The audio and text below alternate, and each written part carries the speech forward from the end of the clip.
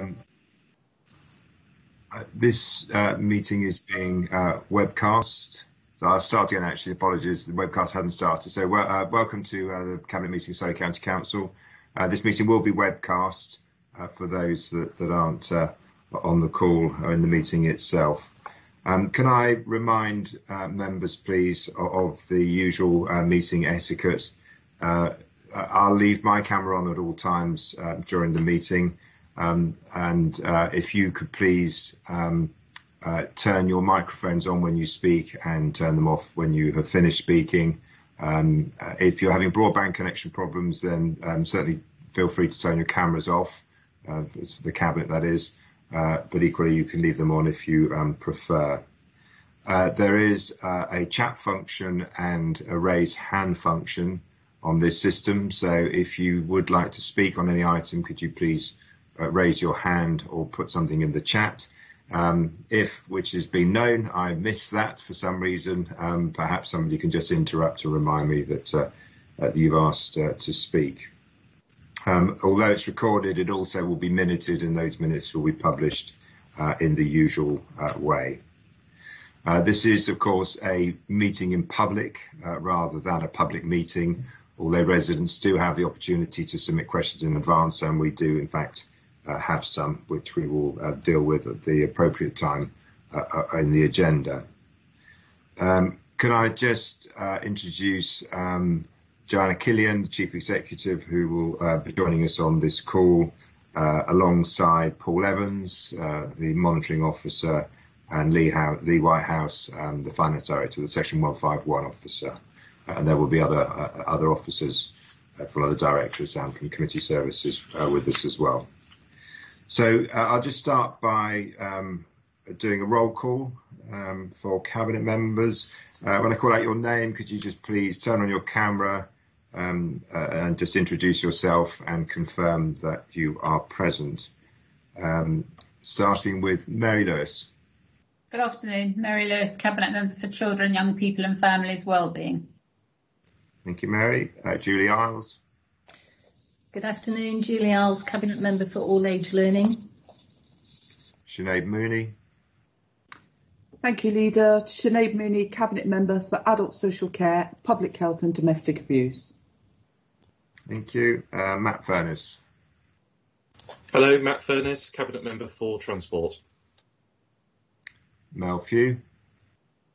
Good afternoon, Cabinet Member for Resources.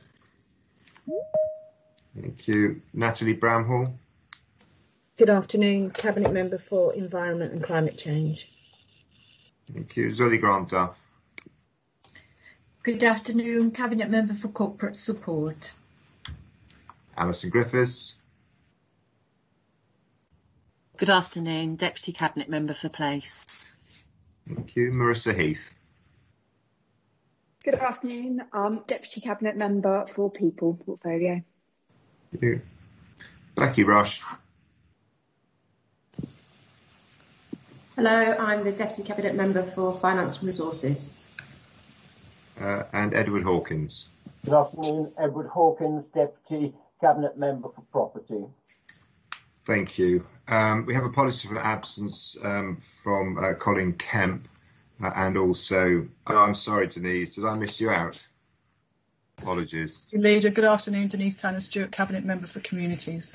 Yeah, very sorry. I jumped over you for some reason.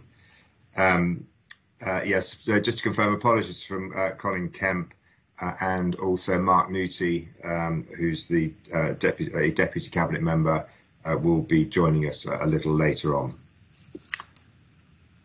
Um, the next item then uh, the minutes of the previous meeting, which was held on the 27th of October 2020. Um, unless anybody indicates to the contrary, I assume that those are agreed. Can't see any objections, so thank you very much. Uh, next item then is declarations of interest. Are there any, any declarations, any interest to declare? Can't see any, so thank you very much. Okay, and then just before we go into the formal agenda, I just wanted to um, start by making a few, uh, just a few comments. Um, uh, you know, it's been an interesting uh, uh week or so uh, since our certainly since our last cabinet meeting. um, with uh, the progress that has been made in relation to the vaccines. I think that for all of us um, gives us some hope and some light at the end of the tunnel. As of today, where it's not clear which tier uh, we will be put into as uh, Surrey County, as Surrey, um, and we'll only know that I imagine on Thursday when that's formally announced. Um, the however, I think it is important for uh, all of us to remind ourselves that, that uh, the the vaccine or the proposed vaccine is not a panacea uh, in, in, terms of, of, the here and now. Um, and as always, I would remind residents to just uh, uh, uh, you know just to, to um, comply with the basic rules of, of, washing your hands, keeping a safe distance, and where appropriate, using face coverings. I think if all if all residents stick with those basic rules, then that's our best hope uh, in keeping the spread of this virus as contained as uh, we possibly can. Uh, across Surrey, the numbers are starting to show a small uh, decline of COVID positive uh, residents, which, which, is good news. There are, however, and there continue to be some spikes in, in different boroughs, so there is absolutely no uh, reason for us to, to be complacent. Um, the, the, numbers are published uh, on the website, so residents do have an opportunity to see that direction of travel. But, but we, we, we mustn't read too much into uh, into those numbers in terms of, of uh, you know the the us being out of the uh, out of the woods here in, in any sense. I think it's it's very clear to uh, to all of us um, the just the enormous impact that COVID nineteen has had not just across the world, you know, or the country, but but within the county. Uh, and later on in the agenda, uh, we, we will just look at um, a community impact assessment report, uh, which is a, a, really good piece of work uh, that, that highlights uh, the disproportionate impact COVID has had on many of our existing vulnerable communities uh, and individuals. and that in itself has helped us um, revise and review our priorities uh, as as an authority. Um, last year, we spent a lot of time with partner organisations and with residents uh, uh, looking at um, our 2030 vision. What is it that this uh, county wanted to do? What, what, what, were its ambitions? And its single main ambition was to uh, ensure that no one was left behind. Uh, and that meant tackling inequality across the county, inequality of health and inequality of opportunity. And those are our guiding lights. Those are the things that, that everything we do runs uh, through um, the, the, you know, the, those themes. Uh, and, we built on those in the sense that we've now refined the four sort of priority areas uh, that will help us deliver that ambition. Uh, and those four are to grow a sustainable economy so that everyone can benefit. You know, it is the single biggest issue I think for most residents now is around their job security, or indeed if they've uh, very sadly lost lost their job. Um, what what can we do as an authority alongside all the other organisations uh, to uh, to to rebuild our economy and to get people that want to work back into work? You know, we are particularly exposed in terms of uh, the aviation industry in the north and the south of this county.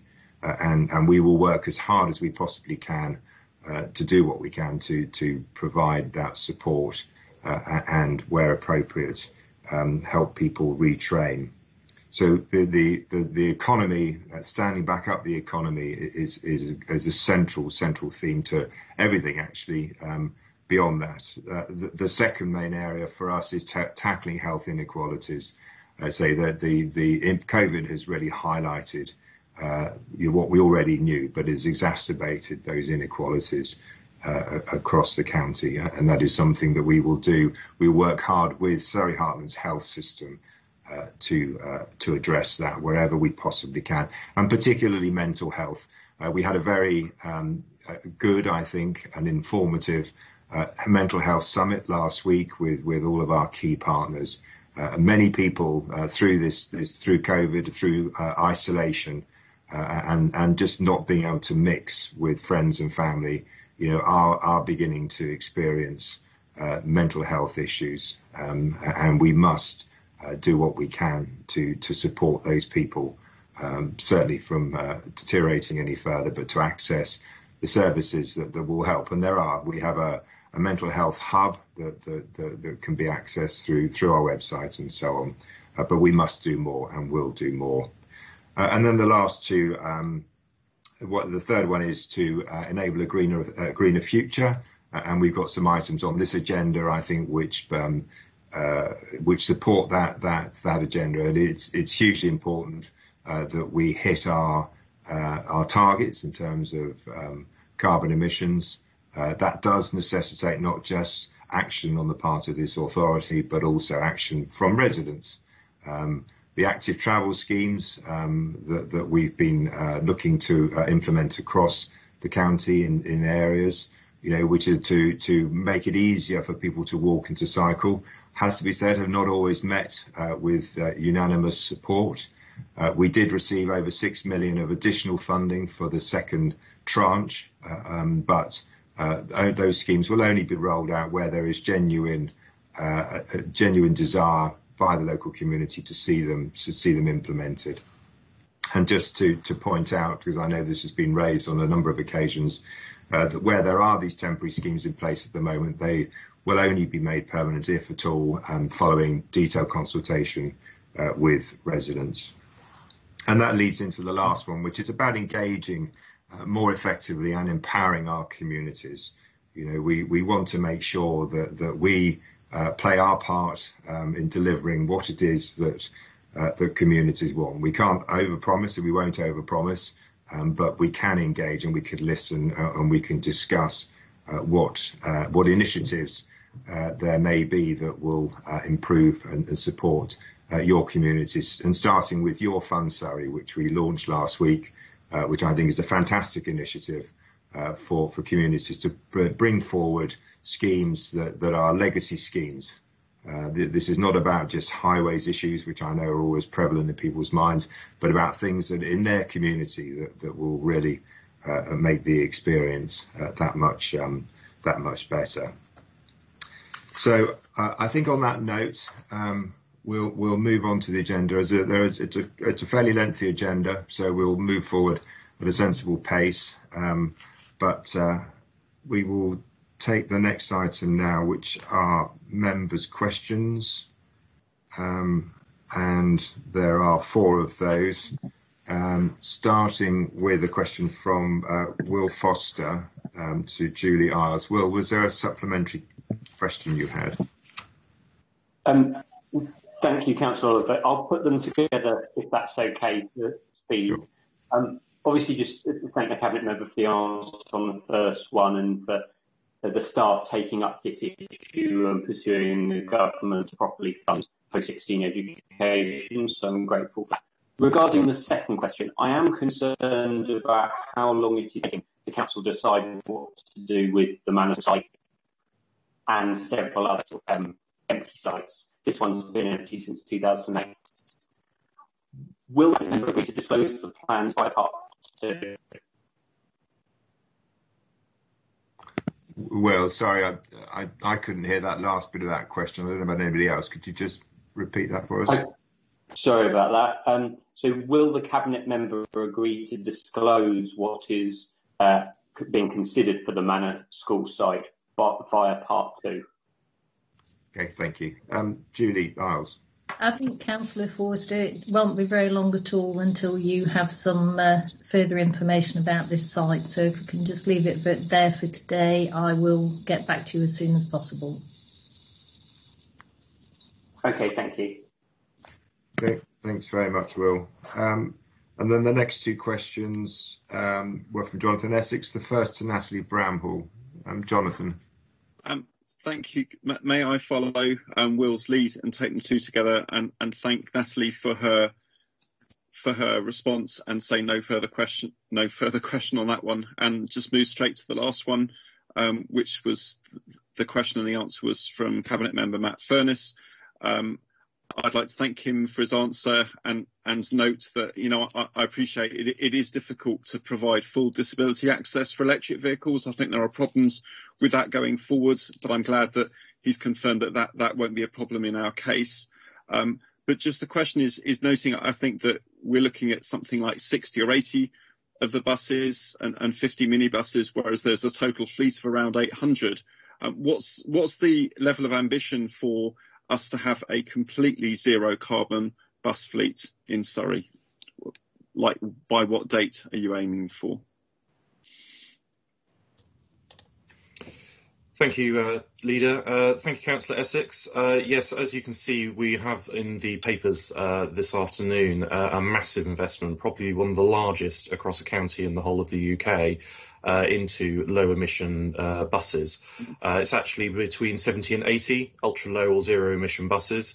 Uh, and this will allow a cascading effect of the less polluting models of Euro 6 and Euro 5 emission rating. And we'll continue to work with operators.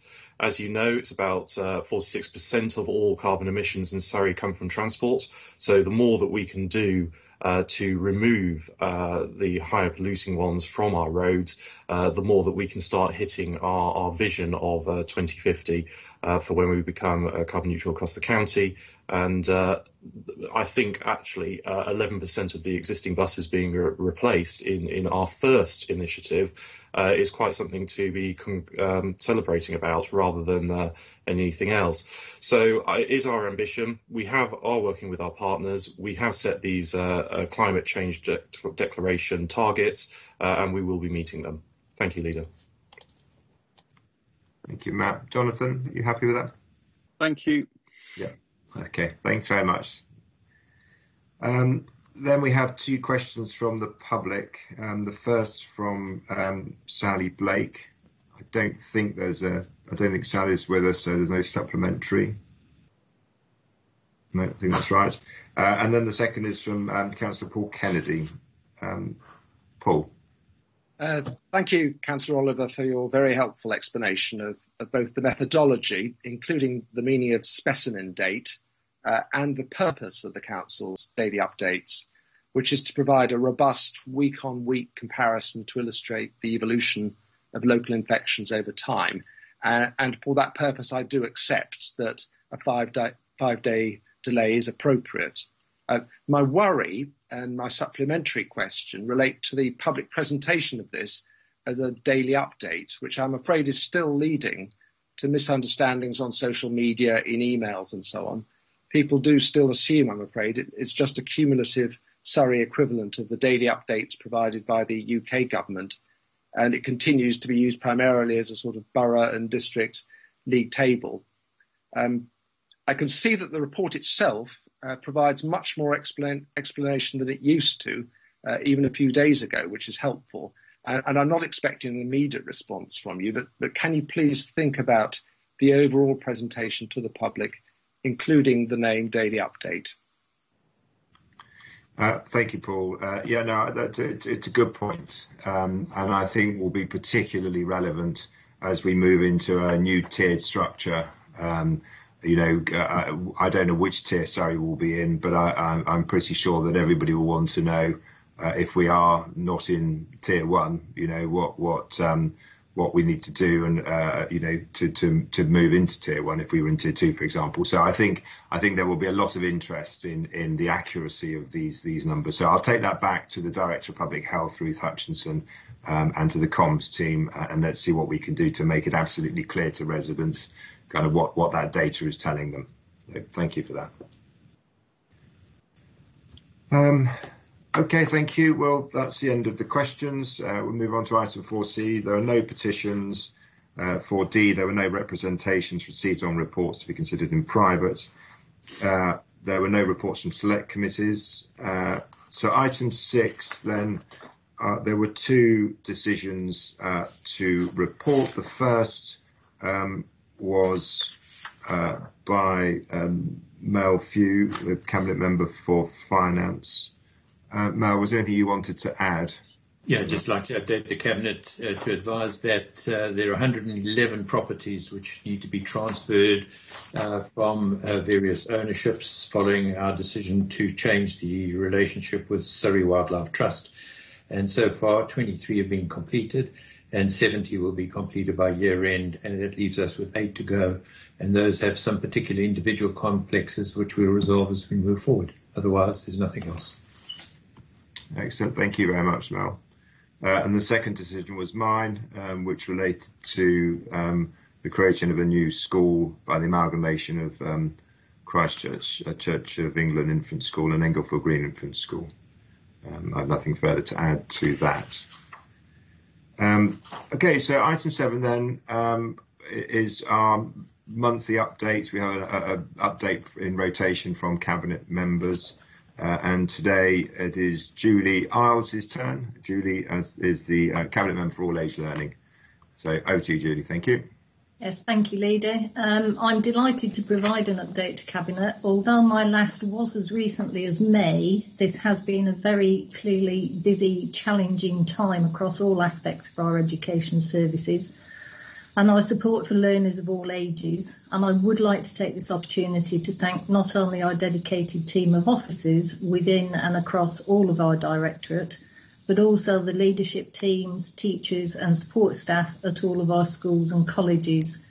The work has been relentless and I think it's really important that we recognise just how much they have all gone over and above in their efforts to make sure that children and young people in our county have been supported through this response to the COVID-19 situation.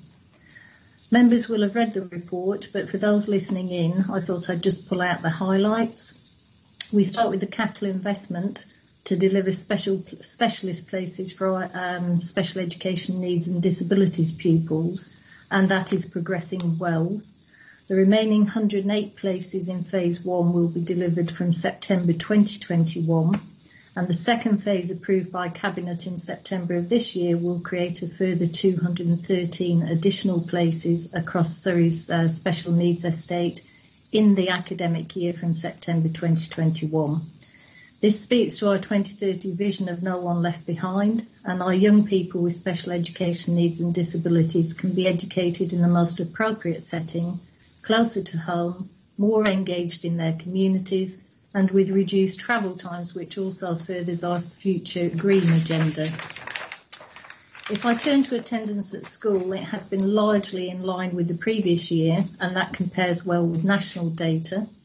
The majority of schools have remained open throughout, although there has been an occasional need to respond to public health advice to isolate bubbles within schools. As you might expect, the position changes daily, and schools are supported by our health protection teams and Surrey County Council offices in education and public health. Our local resilience forum are working on arrangements to pilot lateral flow testing and we've put teaching staff high on the priority list for access. I'll also take this opportunity to say that we're examining the detail of the recently announced winter funding package and we're working with school leaders to make sure that children and the relevant families are supported in the most effective way so that they do not go without food or indeed heat in the holidays. Colleagues will see that work is underway to complete the urgent remedial works required to bring our pupil referral units up to standard. And we have just recently closed a consultation which will feed into the planning for the next phase and the wider co-production of our model for the alternative provision. Currently, our per pupil cost exceeds the Department of Education estimates and we need a step change to achieve the best possible outcomes for young people who access alternative provision. We're not just taking input from each of the phase leads, we're actively engaging with children and young people through our user voice participation networks. As with our special needs pupils, wherever possible, we want local in-school solutions so that learners can remain in mainstream settings closer to home with minimal disruption to their education. My update provides further information about the Learner SPA, that's the Learner's Single Point of Access, which was launched in July. And I'm sure we all welcome this simplified and more timely approach to support families and professionals when there is a concern about the development or the learning needs of the child. The split seems to be two thirds of calls coming from parents and carers and the other third from education settings and professionals.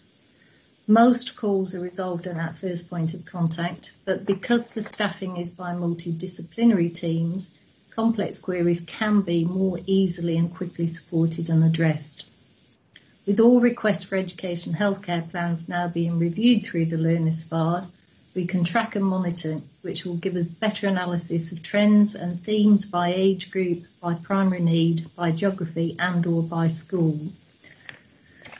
Our adult learning teams have continued to provide family and supported learning alongside outreach to disadvantaged residents and those with mild or moderate mental health disabil disabilities since the start of lockdown. There's been a blended learning programme with a mix of online and face-to-face -face learning, and we're ensuring delivering this autumn within the COVID safety guidelines. I've included some information about our apprenticeships programme because our adult and community education provision will continue to develop the availability of apprenticeships and training courses and we'll be working with the Economic Recovery Group to look at provision which will address the skills gap and enable those who've recently lost their jobs to study for qualifications which will increase their employability. So thank you for the opportunity to update you on this work across this portfolio leader. And thank you very much, Judy, for um, all of your hard work and the officers in, in moving all of these things forward. Um, Mary Lewis. Thank you, Leader. Um, I just wanted to elaborate a little bit about the launch of the Learner's Single Point of Access from the point of view of families. Uh, Julie Iles and I meet regularly with representatives of Family Voice, who are official family partner. And uh, they've told us over a number of years how difficult it is for families to know how to get help, particularly with complex problems that cross service boundaries. And I note that in the first three months uh, of the nearly 3,000 calls that were taken by the Learner SPA, single point of access, 65% of these were from parents, which indicates just how um, how much they, they needed and, and would use such a service. So it, made me think back to last December when uh, Benedicte Symcox, the chair of Family Voice, um, joined the scrutiny committee members on a, a trip to the children's single point of access in Guildford, it was at the time. And her one question to the scrutiny committee was when can we send parents have one of these single points of access? So uh, she was told then that plans were in place and it was described, but seeing is believing. And uh, since that time, since last December, so in a year, uh, a new location has been set up where the uh, children's single point of access for social care and the learners single point of access can be co-located.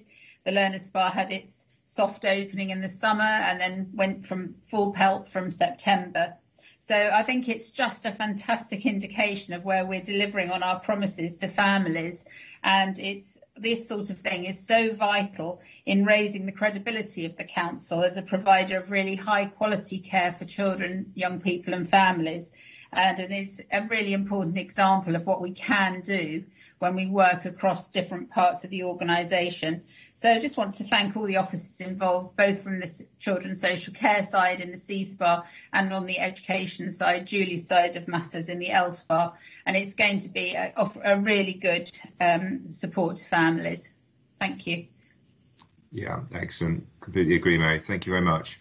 Um, Denise Turner Stewart. Thank you, Leader. Um, I also wanted to commend Julie and all of the education officers on, on the sheer brevity of this report. I mean, this just really is testament to not just the long-held commitments that we have to creating more SEND places and the um, pupil referral unit capital investment to bring our establishments up to standard, but it's just the business as usual, keeping our schools open, uh, the learning support, providing that outreach to, um, to disadvantaged people, and actually the mental health support that can be given through our adult learning and, and stimulation out in our communities. That, that all of this has been maintained throughout such a challenging period. And Julie, you used the term relentless, and I've heard that um, mentioned before on the on the on how it's been for, for you and your team. And I just think you, you really need to take credit. And actually, the the apprentice scheme as well for the fire and rescue service, a really great entry point for our young people into or one of our um, very popular public facing services. So I think you deserve huge, huge thanks. Thank you. Thank you very much, Denise. Okay, I can't see any other hands up. So thank you very much for that, Julie. That's um, yeah, that, that's really, really encouraging. Um, so we'll move on to the next item, um, which um, item uh, eight, uh, which is the delegated and urgent decisions. Uh, there was only one, and that related to the second tranche of the infection control fund.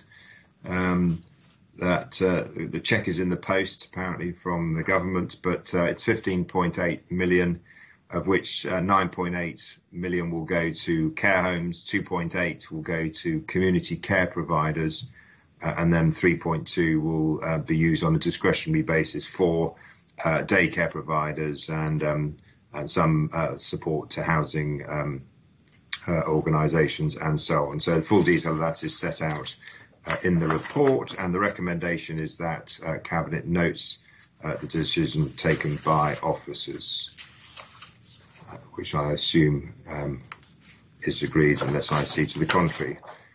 Um, item nine then um, is uh, we've reinstated the COVID-19 update. It's very brief.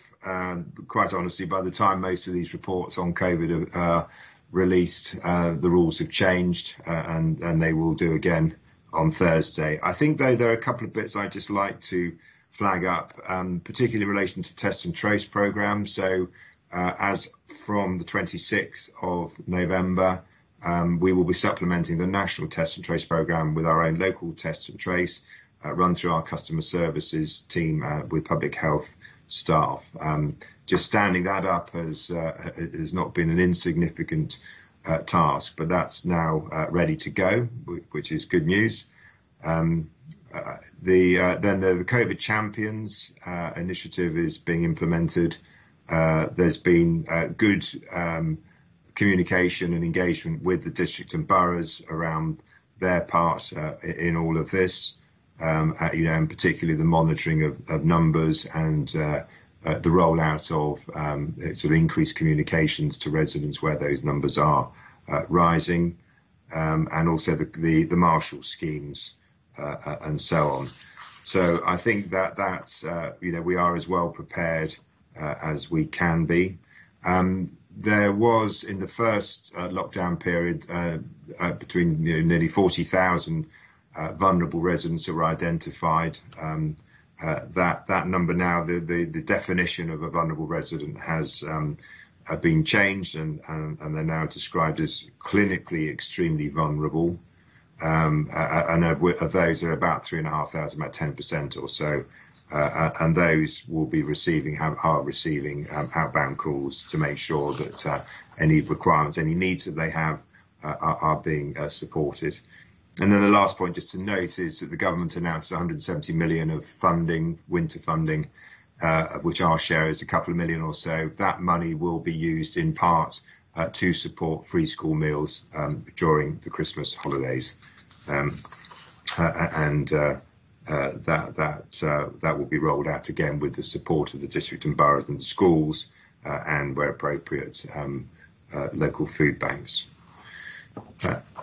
so the uh, there are rec- there are four uh, recommendations um, on that report, um, which I won't uh, read out. Um, they're, they're, all, all um, self-evident, straightforward. As I say, I, I, think we'll have a completely new set of rules probably uh, in the, the, coming days, anyhow. But at least that gives a, a summary of, of what we've been doing um, to uh, you know to support residents through COVID. Um, so I assume those are agreed. So, and then moving on. So thank you. Thank you, Zoe. Then we're now on to the, the first uh, other substantive item, which is um, the draft budget for 21-22 uh, and also then the revised medium-term financial strategy at a time when there is so much uncertainty uh, that it is very difficult to uh, to project or predict uh, what that future might look like. But Mel Few is going to try and do exactly that. Thank you, Mel. Thank you, Leader. Um, I'm pleased to present the draft budget, which I believe at the moment is realistic, deliverable, and continues the significant progress in stabilising the county's financial position, which, been, which has been achieved through the transformation work started three long years ago. When the final settlement is announced by the government between now and Christmas, the draft budget will be adjusted to reflect that settlement. Apart from adult social care, where those authorities with responsibility for providing care to the elderly might be required by government to raise an additional precept cover to uh, precept to cover the growing demand, it is not anticipated that any individual services will be impacted by the funding announcement. Before going into the details of the budget pack, I would like to make the following points.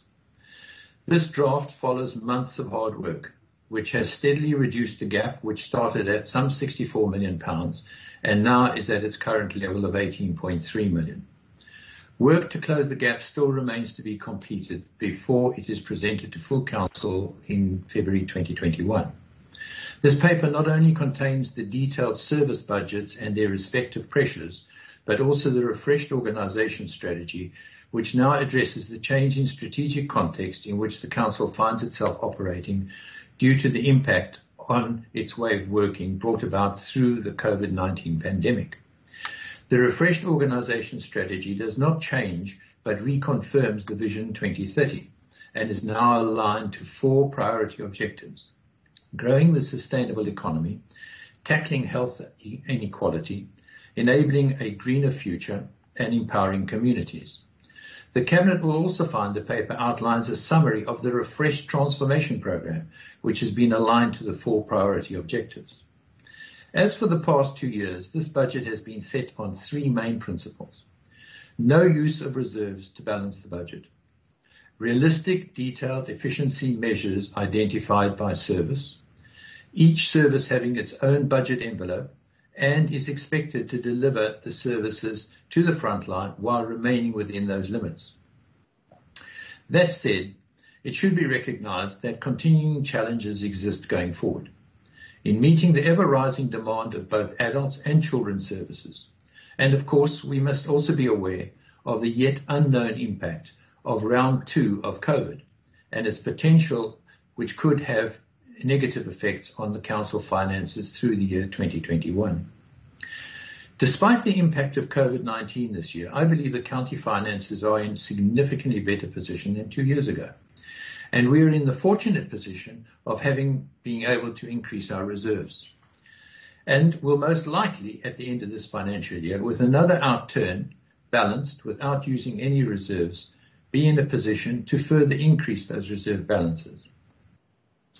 Turning to the details of the budget, firstly, I will deal with the revenue. For 2021, the proposed revenue budget has been set at 971.6 million and is based on the following assumptions. A council tax rise of 1.99%, which we expect to yield in the region of about 780 million.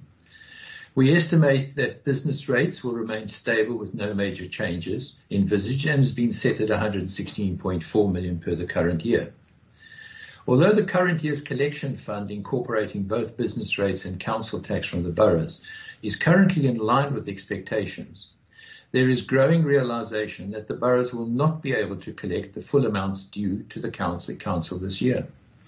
Current estimates for the shortfall after the first half of the year is 32 million pounds for council tax and 5 million pounds for business rates, a total of 37 million pounds.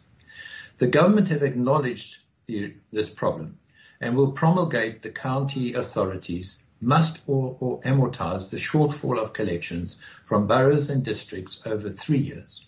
Accordingly, an amount of 10.8 million in respect to the council tax and 1.7 million for business rates in the budget has been included. Government grants projected at 93.4. We see no major changes in that area.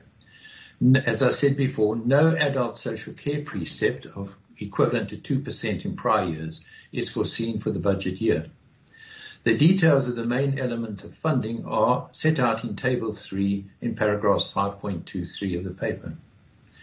On the national and local funding context, uh, sorry, the national and local funding context is outlined in paragraphs 5.12 through to 5.43, where the main point to note is that the promised comprehensive spending review by the government is of today not, has not materialized despite the numerous indications that it would be imminently available, which then leaves the county and local authorities to rely on an annual settlement. Expenditure. The budgeted service envelopes are set out in Table 2 and totaled 989.3 million, as I said, leaving, uh, as I said earlier, leaving a gap of 18.3 million. There, are, there is still work to go ongoing to identify the efficiencies on the following services. With adult social care, the gap is 5 million at this point. Children's, families and lifelong learning and culture is 5.9 million, and environment and transport and infrastructure 5.9 million. I'm confident that with a little bit more hard work and sharper pencils, these gaps could be closed. The individual service strategies and narratives are detailed in paragraphs 4 through to 4.45. Cabinet should also note the comment in paragraph 5.44 where the emerging CIPFA Financial Management Code of Practice paper will become effective in the new budget year. The final version of this budget, will, budget report will set out the Council's finding in detail and also detail any actions required to ensure compliance with this new code of practice. If I turn to the capital expenditure budget from paragraph 6.1 in the papers, this is the most exciting element of the budget, being the highest and most defined capital budget that I've seen in the last three years. Over the next five years, the proposed capital spend of 1.7 billion has been established in line with the county's top four priorities. For example, ensuring our school facilities are kept to high standards, investing in tackling climate change, including flood alleviation schemes throughout the county, looking after adults in our care throughout through major program in provision of extra care homes, with the most innovative item being the introduction of Your Fund Surrey, a five-year capital fund whose objective is empowering communities to fund placemaking or place improvements within their communities. The program is currently being advertised to residents and will be officially launched in February 2021. A summary of the capital program over the five years is set out in Table 4, with the annual budget for 2021 set at 199 million, and the top 10 projects for next year are set out in paragraph 6.20. As is normal practice, the budget contains the medium-term financial outlook for 2025 to 2026. The current uncertainty with regards to funding of local authorities remains one of the biggest items to be resolved going forward. The service budgets have been assessed as to likely demand and inflation pressures, balanced against the revenue projectors and efficiencies driven through further transformation programs. The results of these projections are set out in tables 8 and 9 and reflect the budget gaps likely to occur going forward, which provisionally total 170 million pounds over the period. The next steps in this budget setting process are for the security, uh, scrutiny committees to review the individual budgets with any recommendations being made to Cabinet by mid-December. Once these comments have been addressed and the financial settlement received from government built into the budget, it will be presented for adoption by full council at its annual budget meeting in February 21. In closing, I would like to express my sincere thanks to all the officers, but especially our diligent and determined finance team for all the hours of work that have gone into bringing the budget to this stage. There are three recommendations for the Cabinet. One is to note the budget, the draft budget and the medium-term financial outlook. Two, to note the provisional budget gap of 18.3 million, which will be reduced to zero in due course, and to note the proposed capital budget program for 2025-2026 of 1.7 billion. Thank you, Leader. Thank you very much, Mal, and, and uh, thank you to you um, and to Becky, who I, I, think is going to say a few words now for uh, for all of your hard work in uh, in getting us to uh, this point.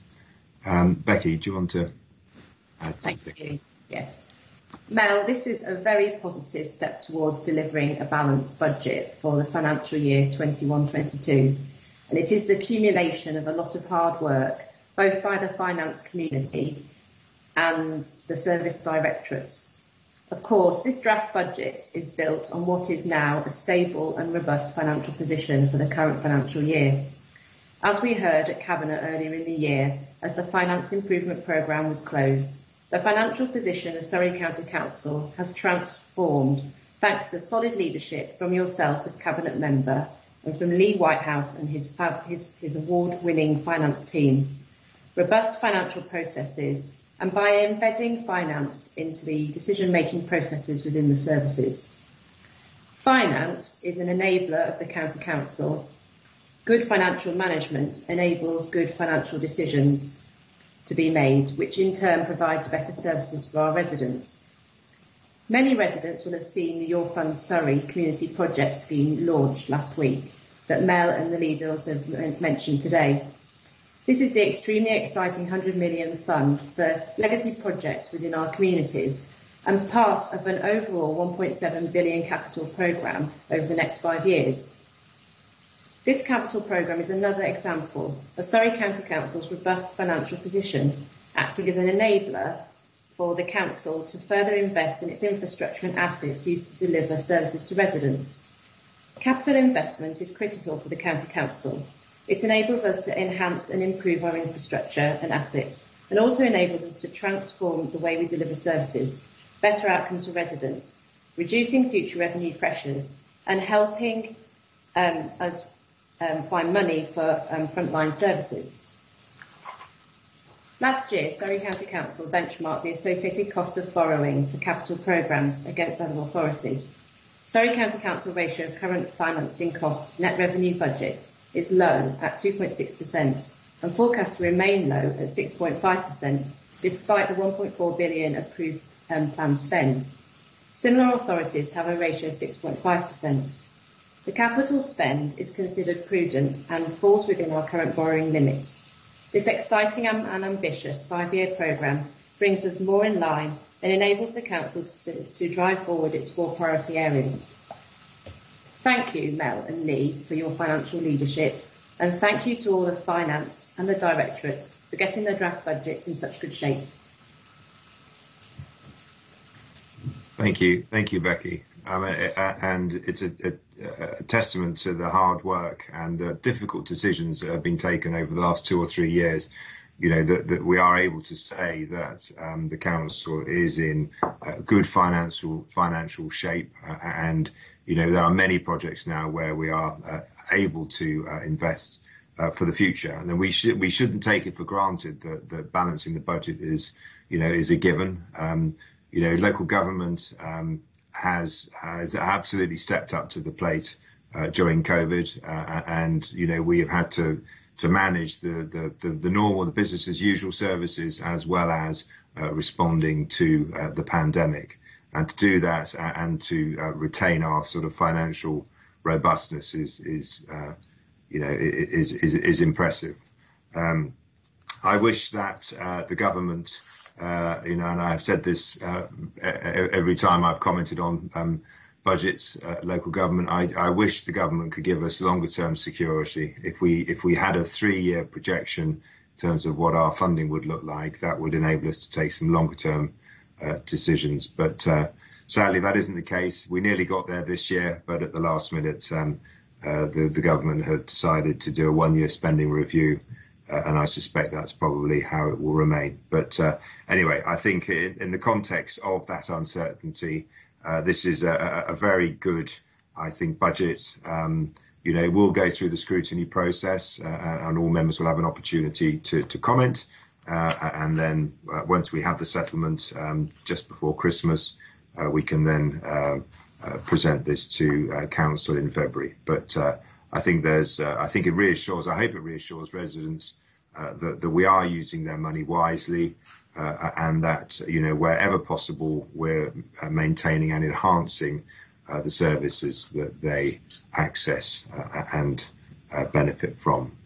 So thank you, um, Mel, Leigh, and Becky, and Rachel and Anna in particular for for this report and um, for getting our finances uh, into a good shape. Um, as Mel says, there are um, three recommendations. Um, I won't reread those. Um, are those agreed? Agreed. Agreed. Thank you very much. Okay, so the next item then um, is to do with ultra low and zero emission buses. Um, over to you, Matt. Thank you, Leader. So this item here today is about uh, a significant investment into ultra low or zero emission buses as well as community transport vehicles.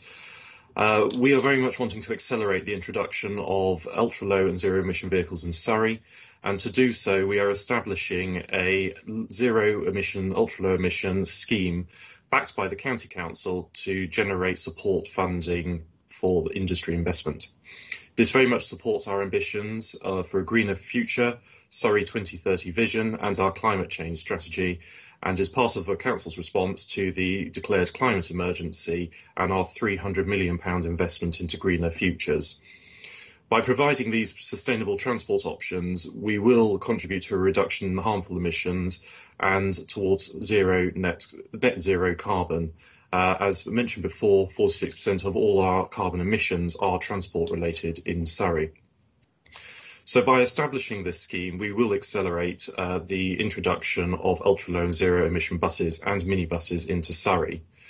But also this project and this investment uh, does encompass bus priority measures and pinch points on the highway, uh, as well as real-time information for passengers to aid knowledge and travel decision making, um, and also complementary investment by the bus operators and community transport providers. So the proposed financial support from the council um, is an introduction investment of about 70 to 80 uh, ultra low or zero emission buses and an additional 50 community transport minibuses over the next five years. Uh, as I mentioned uh, before with the, question, uh, we do believe this is the first occasion that such a scheme of such magnitude will be introduced in one area of the UK. And we have been working closely with all of our partners on this, and they are extremely excited about the opportunity to deliver such a large-scale change. So the companies and organisations which receive the new buses uh, will be able to cascade the less polluting diesel bus models. These are the Euro 5 and 6 emission rating ones. Uh, they're the latest ones replaced by the scheme onto other routes around the county. And this means that we can get the more polluting lower Euro engine ratings, three and four, um, off uh, the roads of Surrey. Um, it will depend, of course, on which bids and where in, in the county, uh, but I'm pleased to say that we will be prioritising areas with declared uh, air quality management areas uh, to get uh, the funding. The technology that we're likely to include will be hydrogen, full electric or uh, extended range battery driven electric buses, uh, micro hybrid extended range electric buses, and uh, electric motor uh, that powers buses at all times with uh, GPS geofencing, uh, which shuts the diesel uh, engines down when it enters AQMAs. So the bus element of this scheme um, is 32.3 million of capital funding, and this will accelerate the introduction of the buses starting in the next 12 months. Uh, there will be an additional 9 million pounds, which will go into bus priority measures, and this will be targeted at the pinch points identified by both the council and the bus operators, which form part of this scheme. Uh, this is very much a complementary investment, which will allow the buses to operate more efficiently and run to the published timetable, ensuring that the council can secure the most effective use of these new buses. Uh, we will also um, be uh, prioritising and updating uh, our priority studies for the buses an example of which will be the Redhill Reigate Bus Priority Study, which has already been commissioned. Uh, this is considering opportunities on the A23 between Redhill and Horley, uh, including bus lanes, uh, intelligent bus priority traffic signals, and it is also being developed to improve the traffic flow at the A23 Three Arch uh, Road junction near the East Surrey Hospital. We'll also be putting in uh, 1.4 million alongside uh, £100,000 of revenue funding uh, for the real-time passenger information systems. Uh, this makes journeys more sustainable and uh, supports resilient and better connected communities, allowing people to access uh, on-street information displays and data as it's happening. And then not to mention how sort of uh, the community transport element, this is a very important area. We are already doing uh, and put a bid into the demand responsive transport service uh, to the DFT about getting more rural areas uh, involved. It's not a one size fits all for all transport. And by actually extending this into the community transport sector and providing 50 new ultra low or zero emission vehicles across Surrey, uh, we're able to support our residents who cannot access the mainstream public transports of buses and trains uh, to access many of the key services such as healthcare. So it is all very much connected uh, together. Uh, we put an expression of interest into the DFT for just over half a million pounds. And should this be successful, uh, we will be able to get a more comprehensive uh, four vehicle operation to be provided across Surrey. So, Leader, this is extremely exciting. We've got our partners uh, very much on board here and ready to deliver, uh, and it is at all levels of um, uh, bus operator, right down to the community, um, as well as uh, our key large playing operators across Surrey. Thank you. Excellent. Uh, thank you very much, Matt. Um, I've got um, two speakers. I also have a note, um, Mike Goodman, that you would like to speak. Is that right? Yes, please, Leader. Yeah, so as, as I know you're a huge supporter of this uh, when you were in the cabinet, so do you want to go first? Yes, please, thank you. It is just over a year ago since Surrey County Council were the first county council to announce their intention of moving all buses operating in Surrey to ultra low emissions by 2030 as part of their overall strategy of net zero by 2050. At the time, this was a bold and exciting announcement. And today I would like to congratulate Matt Furniss and the officer team who have developed this initiative over the last year. And today's paper is a significant step forward in delivering actions to deliver this strategy. Now, at a time when finances are tight, together with the effect of COVID, this council is prioritising and proposing making a fund of 49 million available, of which 39 million will be to support grants for buses and 3.6 million, as Matt said, for community transport, to enable them to purchase electric hydrogen buses and other ultra-low emission buses. This is an exciting and forward-thinking project and demonstrates that Surrey are without doubt leading the way in tackling climate change with this projected um, project, reducing emissions and improving air quality. The paper says one of the priorities will be those areas with poor quality, air quality, which is great news for those residents affected, and I welcome this. Interestingly, the paper before Cabinet today comes just one week after the government's announcement of a 10-point green industrial revolution plan. The plan includes some particularly ambitious commitments, such as 2030 phase-out dates for the sale of diesel and, and petrol cars, and has set a clear trajectory across a range of key sectors for net zero, including offshore wind, nuclear power, and hydrogen. The package in total will be 20 million of investment. The government plan will create jobs, and I hope Surrey will be at the front of these new op job opportunities in the green economy. The drive to support hydrogen buses will be great news for our rural areas where electric batteries may not have the range. Now, green hydrogen plants are being developed in the southeast, with hydrogen being an important element of Surrey's transport. We are well placed to work with the industry in Surrey and potentially create jobs. This project today is an important step forward and demonstrates that Surrey are leading the way in tackling climate change. The commitment of this cabinet is clear and in my opinion is unrivaled by any other council. This is a great opportunity for bus companies and community groups to work with Surrey County Council in increasing the fleet of low, ultra low emission vehicles in Surrey and at the same time improve the quality of the air residents breathe. Leader, this is an excellent and forward-thinking project and I fully support it and I thank Matt for bringing it to Cabinet. Thank you. Uh, thank you very much, Mike. It's uh, excellent. Um, okay, we have some more speakers. So uh, Natalie Bramhall. Thank you. Thank you, Leader. Uh, uh, Councillor Goodman has has said some of the things I was going to say, so I'll cut my my uh, speech down slightly. I too am really pleased to support this paper from from uh, Councillor Furniss.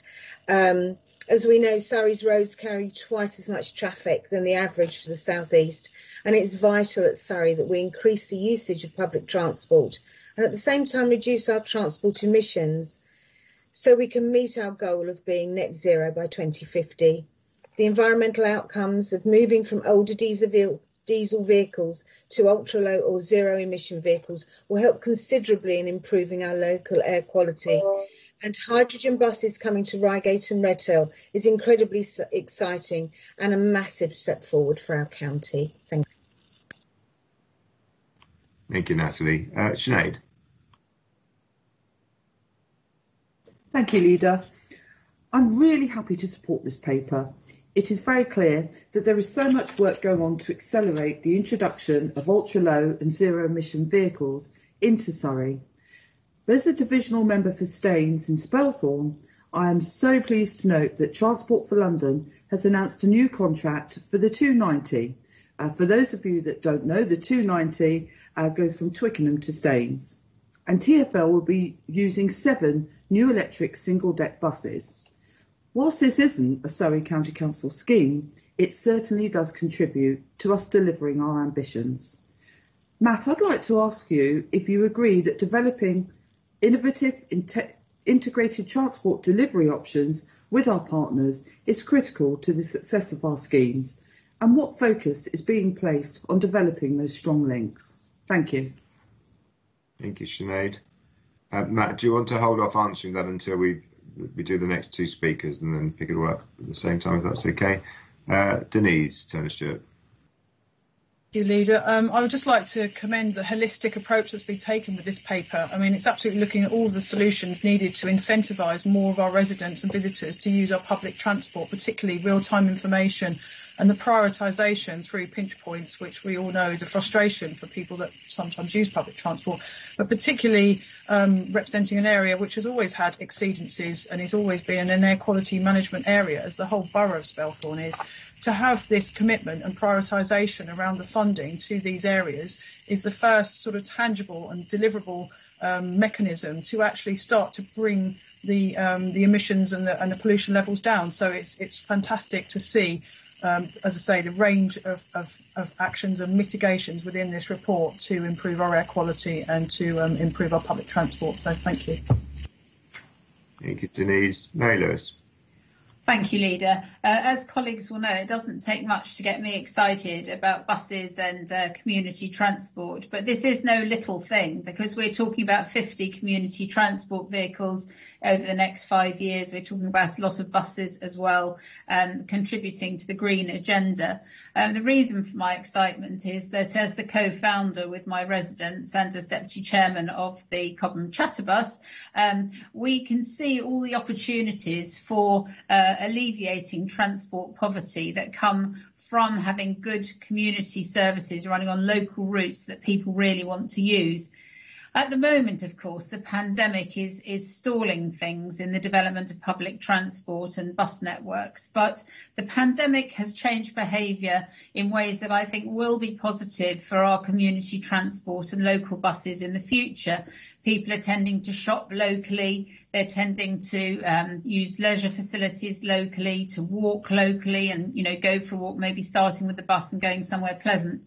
And I think if we can enable more and more of our residents to have access to all these things that car users have traditionally taken for granted, as well as reducing the usage of cars amongst car owners, uh, we will be really pushing forward a, a greener Surrey and delivering on our no one left behind agenda. I've seen for myself how real-time passenger information can make a big difference to usage of, uh, of buses. And um, so I'd put in a quick word with the cabinet member now for um, an extra bit of uh, real-time passenger information on the other side of my high street, please. I think this is a thoroughly good report and uh, I'm really pleased to, to support it. Thank you. Thank you very much, Mary. Matt, back to you. Thank you, Leader. Uh, yes, no, thank you everyone for your support. Um, we, we, do work very closely with um, all of our partners. Um, the bus operators were, were, very quick to thank us, uh, particularly during the pandemic, because we uh, we said from day one that we would continue our payments. We've been working very closely with them to deliver as many of the services as we possibly can. Um, and even just here on this paper and uh, our bids to the DFT, uh, they do support us quite heavily uh, in getting the, these funding uh, streams together. So uh, just on, on Sinead, just on, on your point, um, we are working closely with the operators. The partnerships are absolutely key. And if you, if you look at um, point eight on uh, page 107, there is a line in there which is is, is just in the paragraph. It's uh, the project will also support the enhanced working with the bus industry through quality bus partnerships.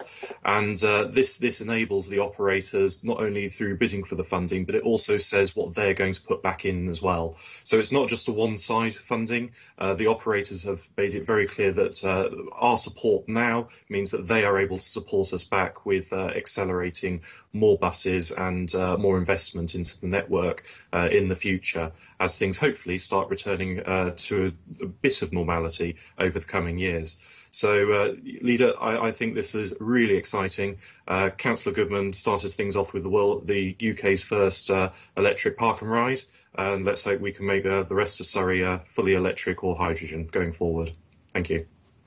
Thank you, Matt. Yeah, and absolutely. I mean, uh, Mike, I know was was you know, was a keen advocate of this and pushed it forward during his time in the cabinet, and, and you've taken it on to the next stage. This is is a, a really good next step. I mean, I think it's absolutely essential that we build um, and facilitate a, a, good public transport infrastructure. Uh, you know, if we're ever going to get anywhere near to hitting um, our targets, we do need to attack that 46% of carbon emissions from uh, transport. Uh, and, you know, if we've got, only when we've got a, a kind of reliable uh, you know, transport system uh, with real-time data, uh, will people be confident to use it to go to the train station or wherever it is uh, that they want to go to. So this is a really good step forward. Um, there are two recommendations. The first is to support the establishment of the scheme, uh, and the second is to uh, leave the detail of the implementation uh, to the cabinet member and executive directors.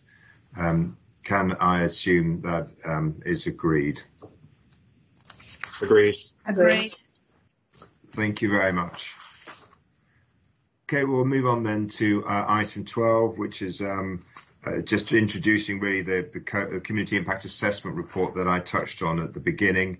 Uh, th this is a set of reports, um, both across the county and broken down uh, by district and borough that explore the kind of the health, the social, and the economic impacts of COVID, um, and uh, is intended to be used uh, to provide targeted support uh, to the communities um, that, that, that need it, you know, to um, to enable us to act um, to prevent or to mitigate uh, some of those uh, future impacts uh, and to understand the experience of residents um, so that we can uh, improve um, how we deliver our services wherever possible.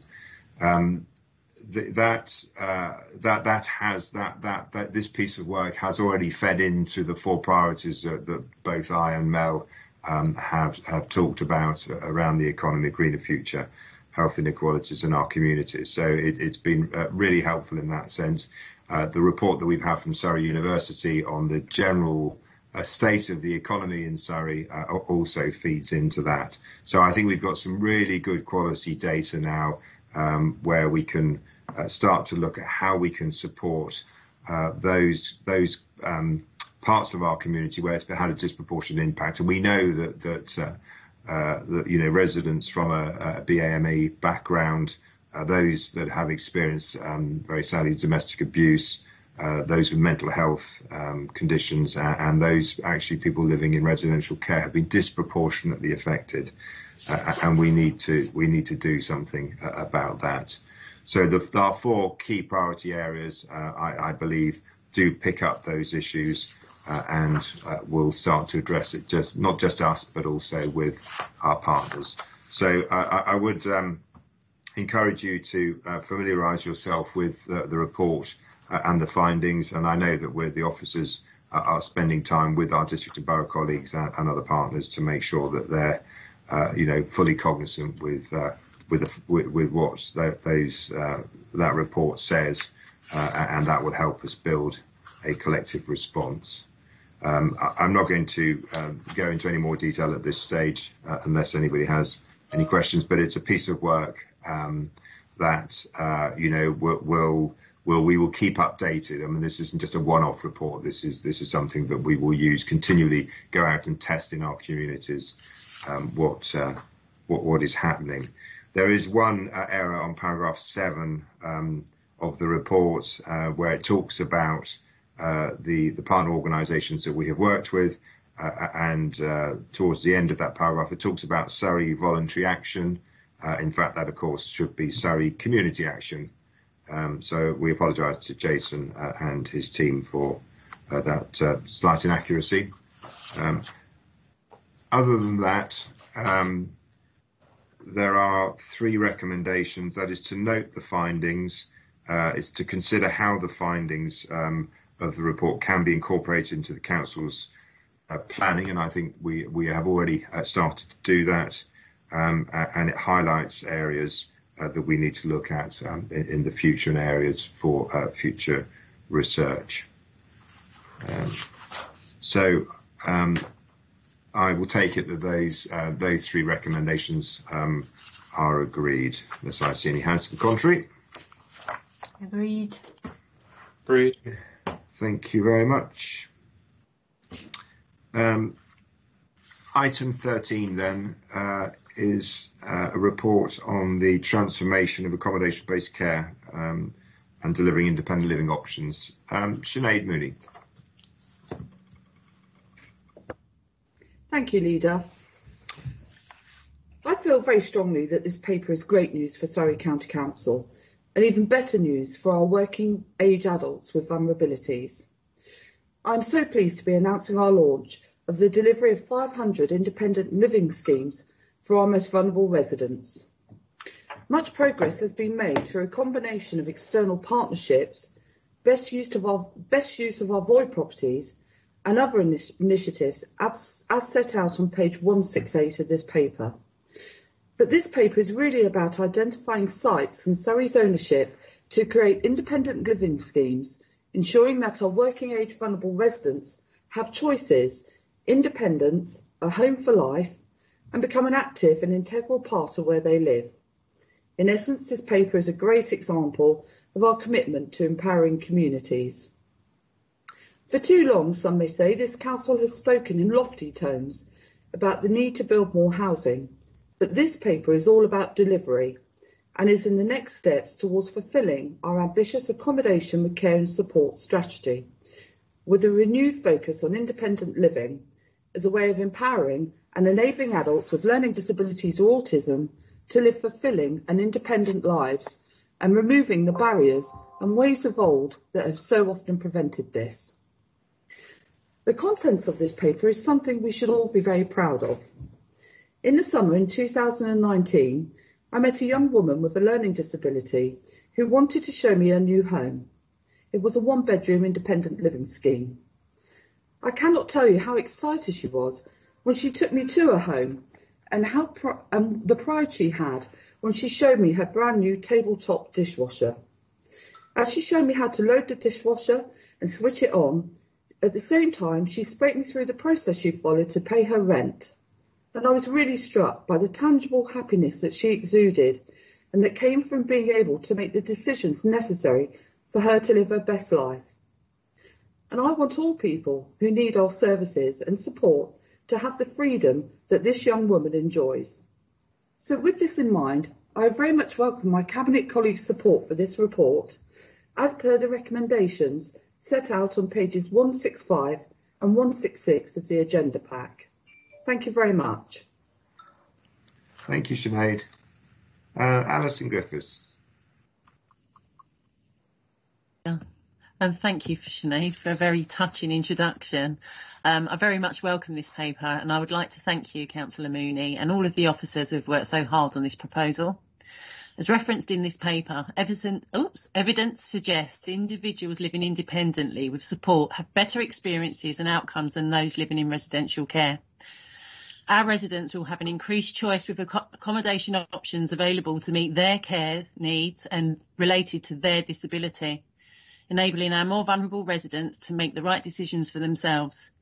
This accommodation will be placed at the heart of our communities where possible, helping to reduce social isolation and loneliness through social inclusion opportunities, workplace opportunities and much more, ensuring residents' health and well-being is greatly improved through such schemes.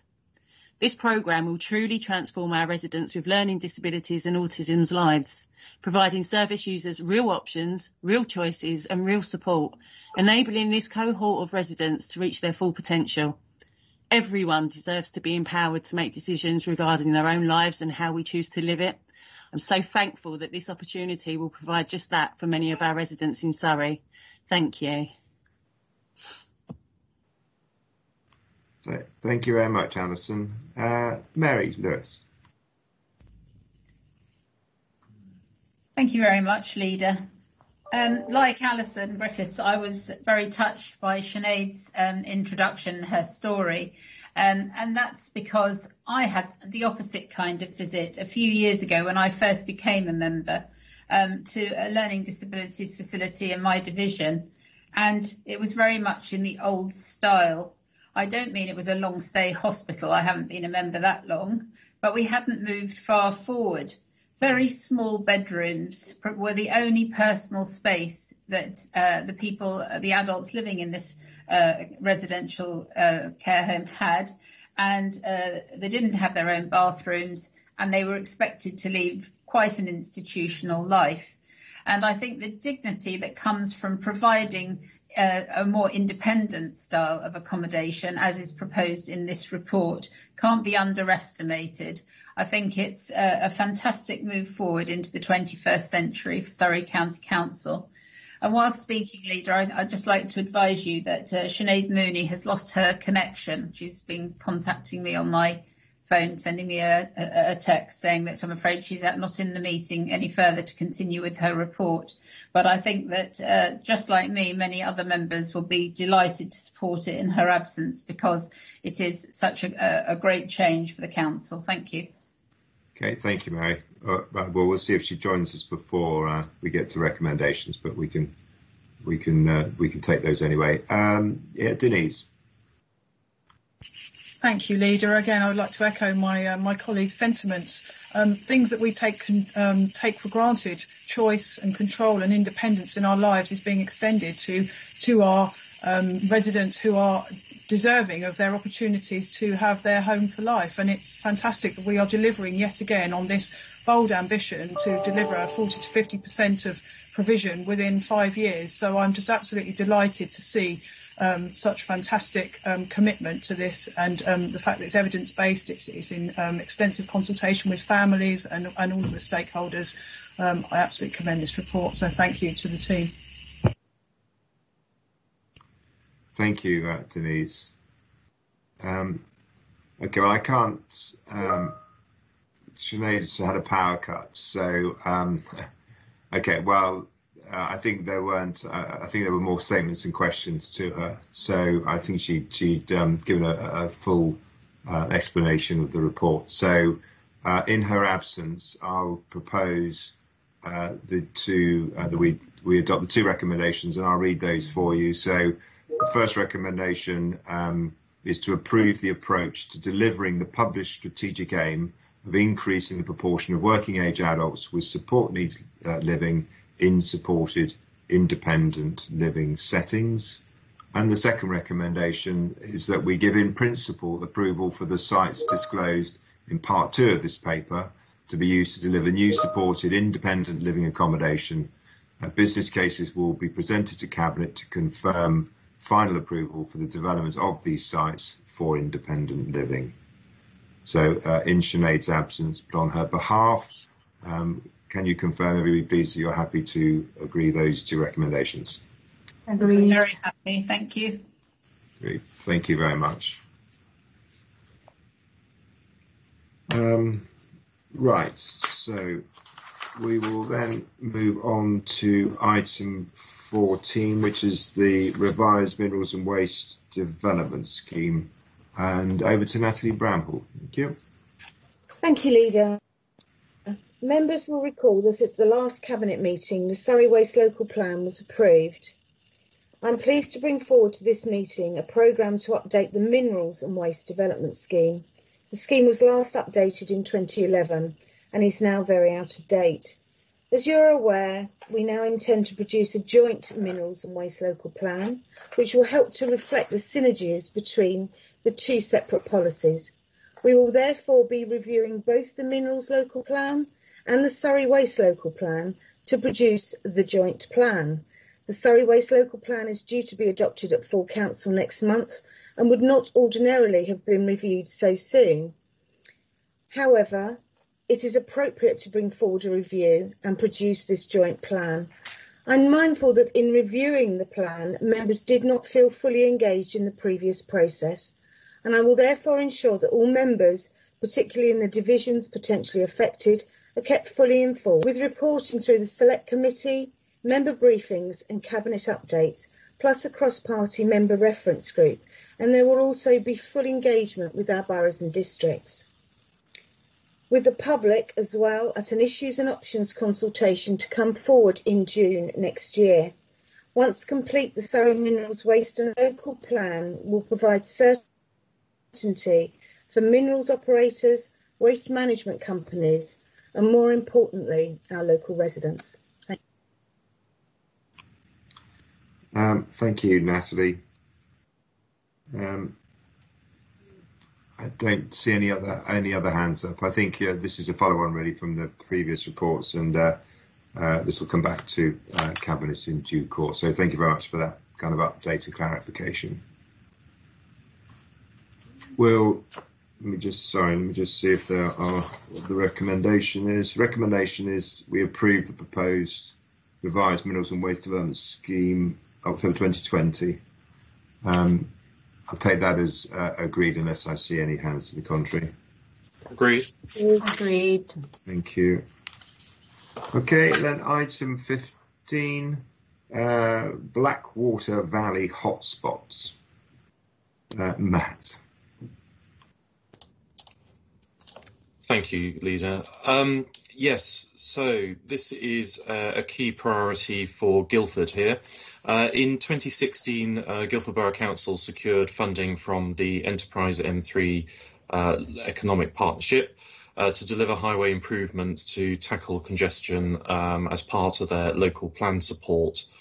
Uh, the improvements are proposed for two junctions, the junction with the A31 and A331 and the junction with the A323, uh, A324. Uh, Guildford Borough Council progressed uh, both of these schemes um, to the project initiation until July of this year. Uh, and in July, uh, Guildford Borough Council asked the County Council to step in and uh, deliver these schemes.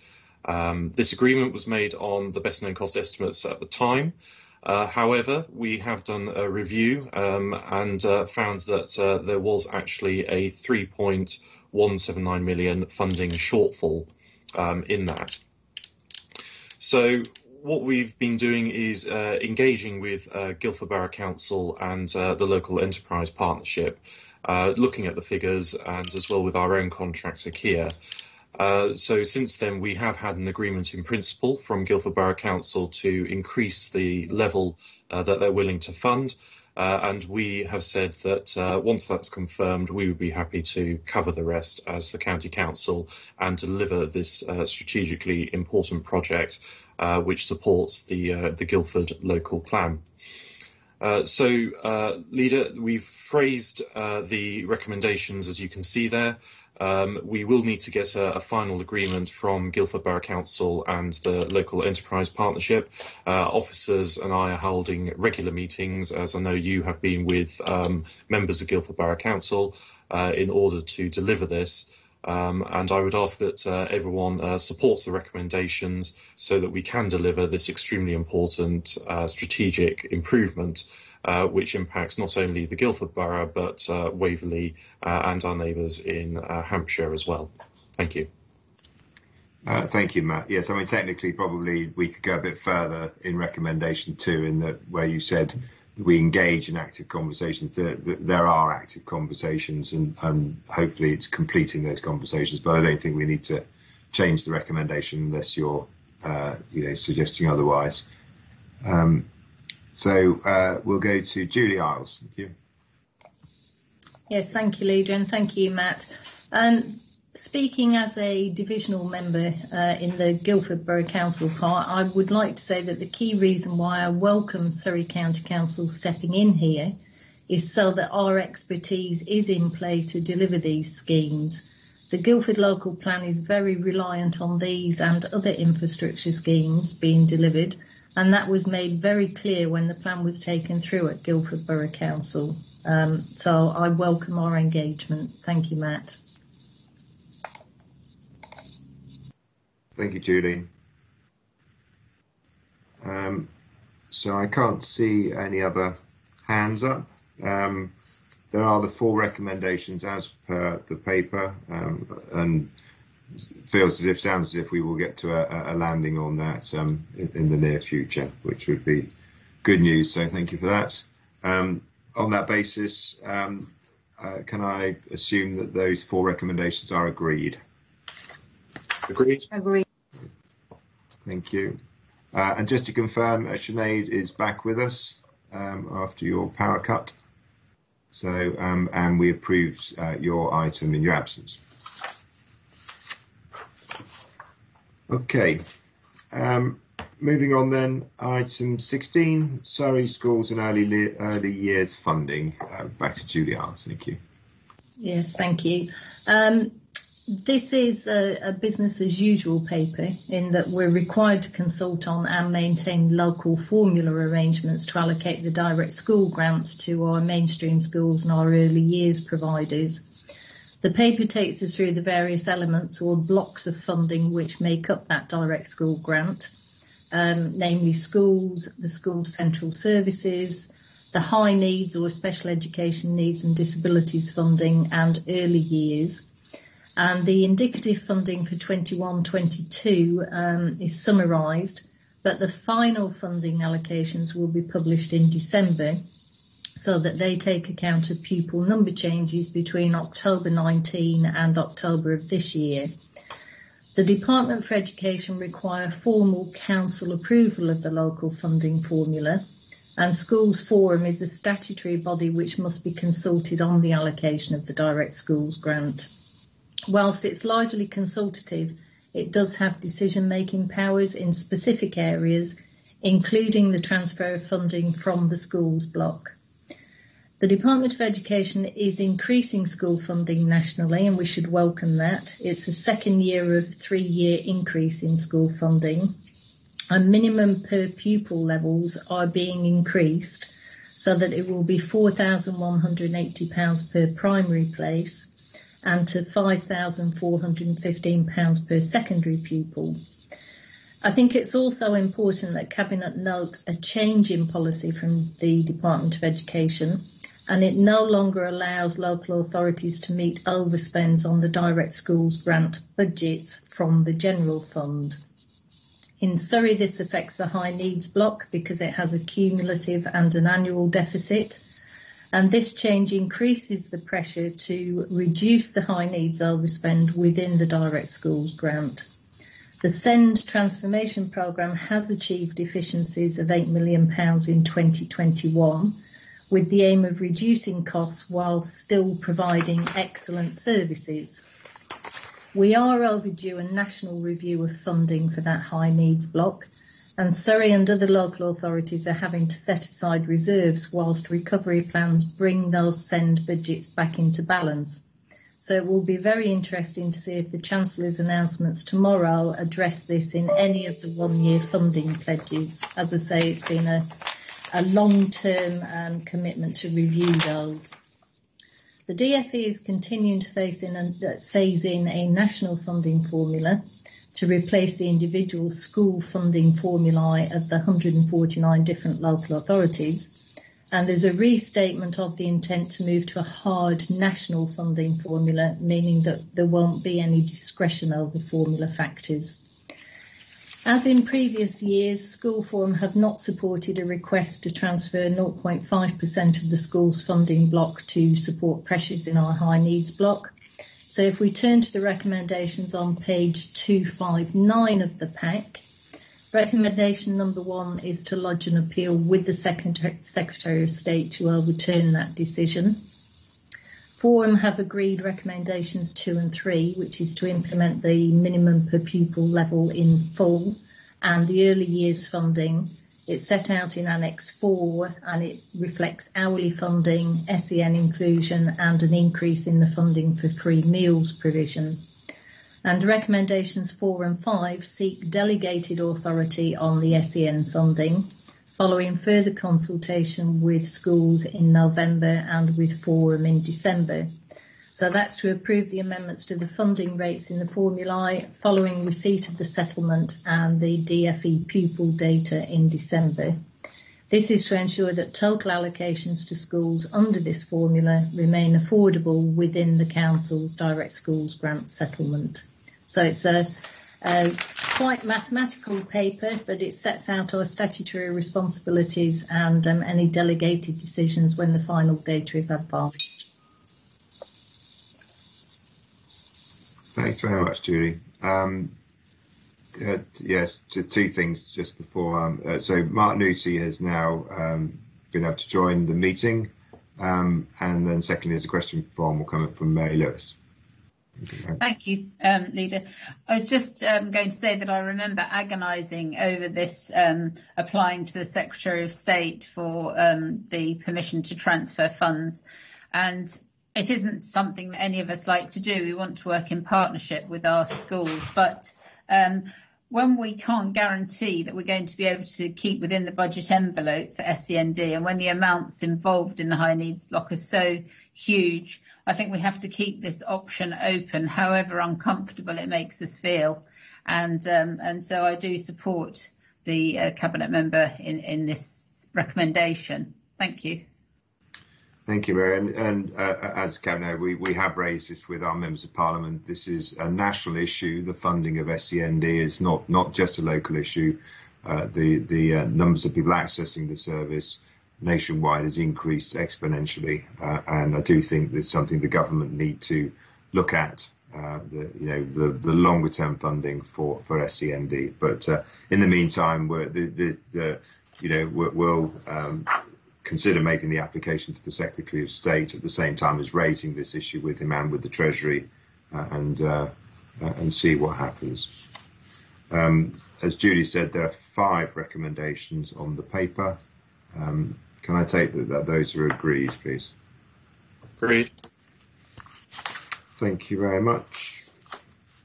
Okay, item 17 then. Um, is an update on the waste PFI contract. Um, which is known as the Eco Park at um, Shepperton. Um, many of us have had um, a number of emails from residents, uh, local residents, uh, uh, over the weekend, and thank you very much uh, for those. Um, I'm not going to um, specifically address the points that, that, that, has been raised, but I think others will, um, wherever possible on this call, do that. Th- this paper was simply to uh, just to to update residents on, on where we're at. Um, uh, this has become an extremely protracted uh, contract uh, and uh, facility. Um, the, the, uh, the, this, this, the, there is no question that, that, that, there is frustration on all parts. Uh, there are four parties effectively involved in, in any conversation. That's Suez as the our, our the main contractor, their own contractors, um, ourselves, and then DEFRA, who are funding this. Um, and that complicates things where you have all four organisations um, with a view. Having said that, I think we've now got to the point uh, where uh, we um, we need to have clear legal advice on what our remedies are and what we can do to bring this contract uh, to a uh, to a conclusion, uh, one way or the other. and that is what we have done. We have commissioned a review, and um, we have had legal advice on on our options. And, um, and those are being shared with Suez. There are conversations with Suez on a on a daily, very regular basis uh, around issues uh, arising from this contract. Um, but I think we're now we're now clear on, on what what those options look like. I'm afraid they are there. There is a commercial sensitivity about those at the moment, uh, and those will be explored in in part two um, uh, of this agenda, which I'm afraid is not open to to the public. Um, all I can say is that um, uh, we all want to uh, uh, to see this resolved, uh, and we will now push forward um, as quickly and as firmly as we possibly can to achieve that. Um, I, I, don't know if there are some others. I think Natalie Bramhall, are you going to pick up some of the specific points that residents have raised? Uh, yes, uh, thank you, Leader. Uh, I have responded to all the residents that have contacted me um, already uh, earlier on today. And as you've already alluded to, um, the County Council are obviously very concerned about the delay. And, and as you said, we're addressing this at the highest level with Suez um, to confirm the Eco Park will only move into operation and be accepted by this council if and when it passes a thorough series of tests to prove its operation is both safe and reliable. Although for reasons of commercial confidentiality, we're limited in what we can share in respect of this work. We're doing uh, and what we're doing to manage the contract. I can assure members and our communities and residents that officers and all cabinet members are working really hard to protect the interests of the council and, uh, and, and critically our taxpayers' value for money in the delivery of this contract and the associated construction programme. Um, uh, the, the, the, leaders already uh, covered the part two of the report, which uh, which is, is very difficult to uh, talk about. Um, but um, I want to to, ra- to take this uh, time to re- recognise the issues that have been raised by residents um, in regard to the current operation. Uh, we've received a large number of messages from local residents setting out their concerns over a number of aspects uh, of the eco park, including strong odours um, and uh, emergency noise and the traffic generated by the construction and I'm really sympathetic to residents that have raised these issues. And I'm grateful that you've come forward with your concerns. And I want to uh, provide some reassurance that emissions from the stack are continually monitored and Suez are required to comply with strict emissions that are set out um, in their environmental permit. The operation of the plant under the terms of the environmental permit is regulated by the Environmental Agency and to ensure that it does not cause any harm to the environment or to human health. If the emissions monitoring identifies any concerns, the Environment Agency can and will close the site down. To this end, we are actively pushing for SUEZ to engage with the Environment Agency on the back of these complaints and we've been that we've been made aware of. And we remain grateful to residents in the surrounding area for advising us of the issues experienced. We obviously will continue to work with residents in the area to support a resolution of their concerns, and we would encourage all residents writing to us to ensure that they are also making their complaints directly to SUEZ, as it is SUEZ that are required to investigate all complaints of pollution and report the outcome to the Environment Agency. In addition, residents can report these directly to the Environment Agency, which again will help ensure that all these matters are investigated and resolved as soon as possible.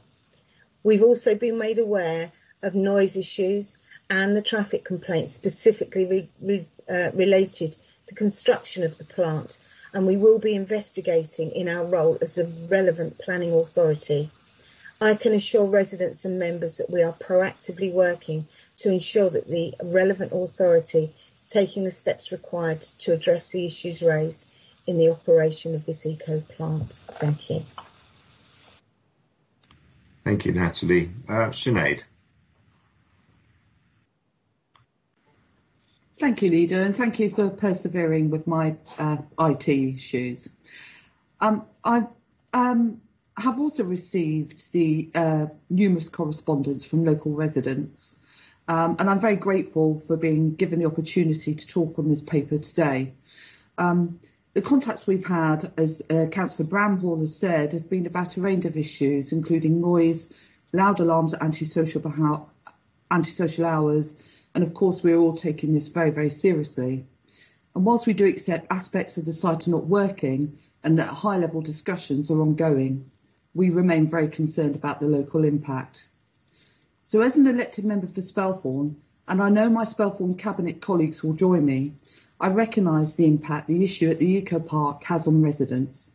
And in agreement with the leader and cabinet member, and I'm very grateful for that, and with the support of my Spelthorne cabinet colleagues, I would like to engage with the local residents, in particular the Residents Association, SATAP, and those who have written to us by offering a proposal to set up a working group, and we will reach out to these groups and residents in the next few days to ensure this happens and happens quickly.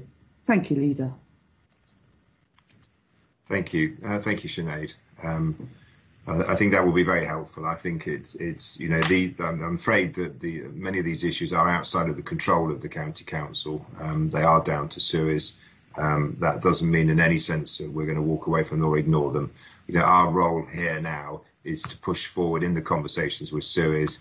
Uh, you know uh, and and to uh, uh, to to follow the the or to choose one of the options that the, that we have um, that have been set out by our legal advisors, and that that we will we definitely will be doing. Um, so uh, thank you for picking up the specific residence issues, and, and to Natalie, uh, and no doubt we'll, um, we'll, we'll we'll hear more about those um, in due course. Is there anybody else that wishes to raise anything on this item? Um, there is just one recommendation, which is we note the contents of the report uh, and that a review of the current waste PFI contract has been undertaken and in, in uh, part two, in, in the non-public part of this agenda, we will be uh, taking forward uh, uh, at least one of those options. So can I take it that that recommendation is agreed, please? Agreed. Agreed. Thank you very much. So the last item on the public agenda is item 18, which is an update on our current financial uh, position from Mel Few. Thank you, Mel. Thank you, Leader. Uh, this report covers the halfway stage of the financial year.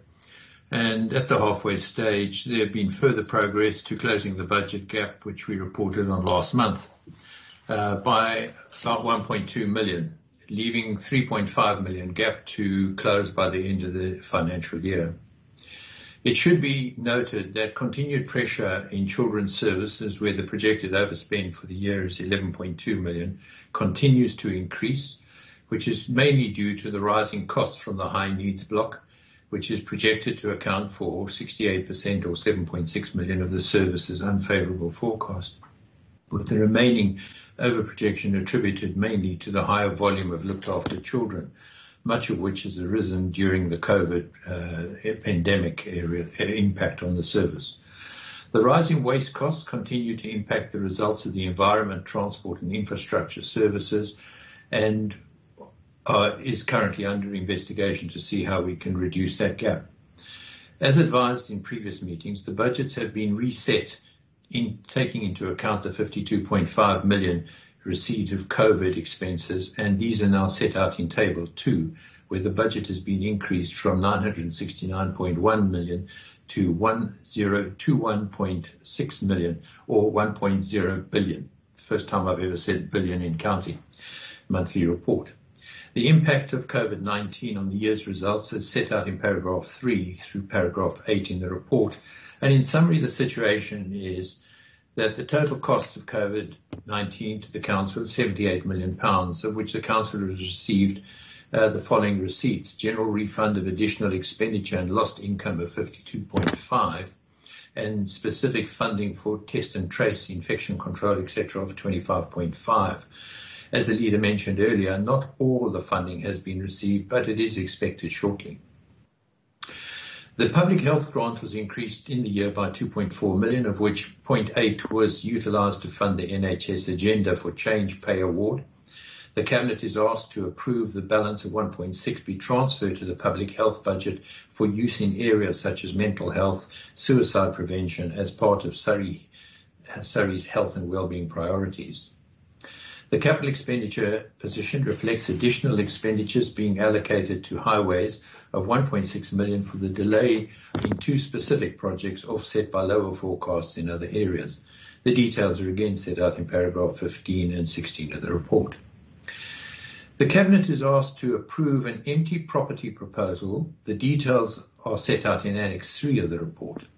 This is an innovative concept approved, which approved will um, encourage district and borough authorities to reduce the number of empty properties within their areas. Where individual boroughs change the empty homes county tax policy, on evidence of such, the county will refund the additional county tax on those properties collected to the borough as an incentive to reduce the number of empty properties. At each quarter, the Cabinet is presented with certain pertinent data on the debt due to the Council, the Treasury update, and returns on invested surplus cash um, over the last quarter. On the debt side, the Cabinet will note that the debt due to Council at the end of September amounted to 52 million, of which adult social care accounts for 55.4% or 29 million.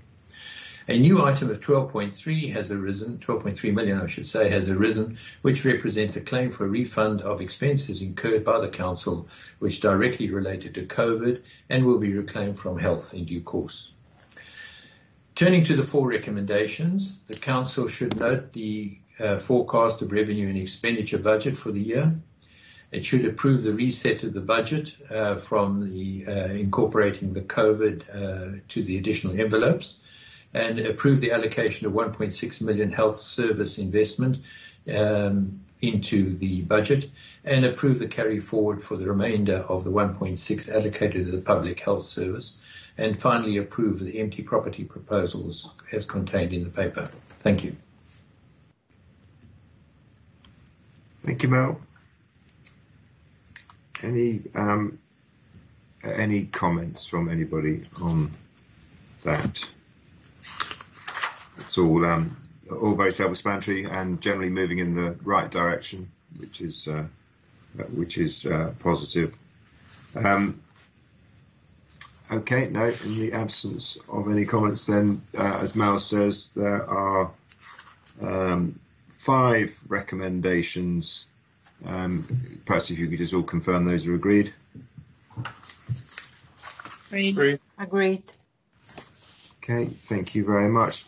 So that uh, that brings us to the end of um, the public agenda. Um, thank you um, for uh, to anybody that was uh, watching. Um, I hope you'll see that there are lots of positive things that are happening, lots of activity. Um, you know, it, despite um, COVID-19, I hope that by the next time we meet as a cabinet, you know, we will, uh, you know, we will have moved on. we'll see what uh, what further restrictions, if any, are imposed on Surrey. Um, but uh, we'll continue to do whatever we can to protect our residents uh, and indeed the businesses uh, across um, the county. But I think we should all uh, feel a little bit more optimistic that, that actually the light is at the end of the tunnel um, for this pandemic. I certainly hope so. I'm, I'm, sure we all do. So thank you very much, uh, and uh, no doubt look forward to catching up in due course.